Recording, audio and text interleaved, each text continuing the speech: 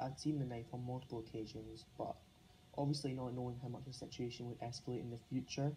I didn't think much of it, which I think is quite a regret now. There's regret that I didn't make sure he didn't bring the knife, but in terms of reporting him, unless I knew that he was, unless I'd seen that he was going to use it on someone, I hadn't. I just, it didn't occur to me that it would escalate to such a high level that I would need to report him urgently or get the knife off of him or anything like that.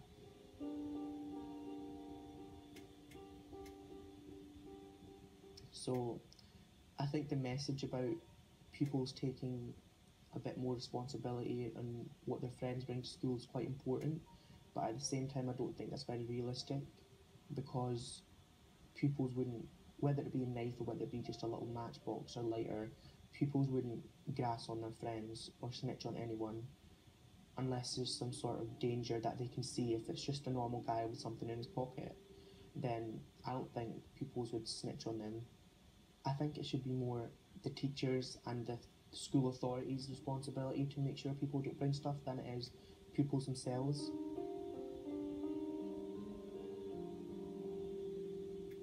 If I was to be honest with you, there's nothing to stop it happening again. If someone had that if someone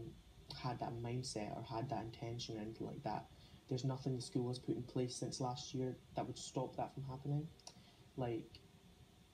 everyone's like they're going to do bag searches or any like detectors or teachers going to speak to them but it's very easy for someone to just put something in their pocket or in their bag and no one would notice ever. I, I don't think anything's been changed since last year there's been nothing done to ensure that people's pockets are empty or people aren't bringing inappropriate items into school any longer. So I would say